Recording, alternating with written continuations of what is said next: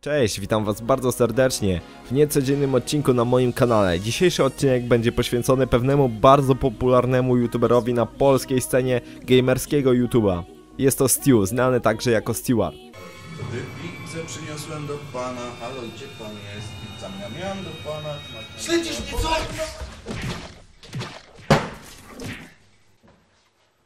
Fuck the police coming straight from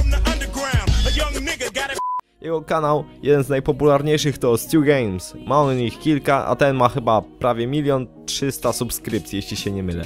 Pod jego postem na Facebooku pojawił się hejt, że jest on kierowany w grze Counter-Strike Global Offensive. Stu, zamiast ignorować owy post, zaczął cisnąć po tym osobniku i po kilku jego fanach. Co możecie zobaczyć na tych screenach, które są właśnie tutaj na waszych ekranach wyświetlane.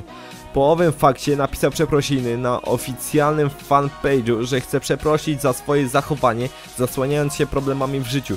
Ale zaczekajcie, czy my ich nie mamy? Oczywiście, że mamy swoje problemy, lecz nie rzucamy się na swoich fanów czy znajomych, czy nawet napotkane osoby na ulicy czy w internecie. Osoba publiczna, taka jak Stewart, powinna umieć się opanować. Powinna dawać przykład swoim fanom, którzy w większości są jeszcze tylko dziećmi, nie zapominajmy o tym. A nie wyzywać się z hejterem jeszcze obrażać jego rodzinę, czy jak w jego przypadku miała to być może obietnica dla jego mamy. Nie wiem. Nie obyło się tam także bez gruźb karalnych. Może Stu powinien odpowiedzieć za to karnie. Co sądzicie o tej zaistniałej sytuacji? Piszcie w komentarzach. Cześć, na razie.